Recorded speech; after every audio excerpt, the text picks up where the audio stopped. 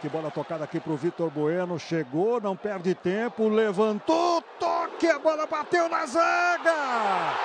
Gol! Na zaga, você vai conferir, ó. Dá uma olhada. Vitor Bueno.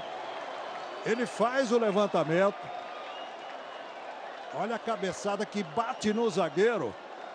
E o copete girou. Não estava nem muito bem equilibrado, né? Mas acabou fazendo o primeiro gol do jogo. 1 a 0 para o Santos.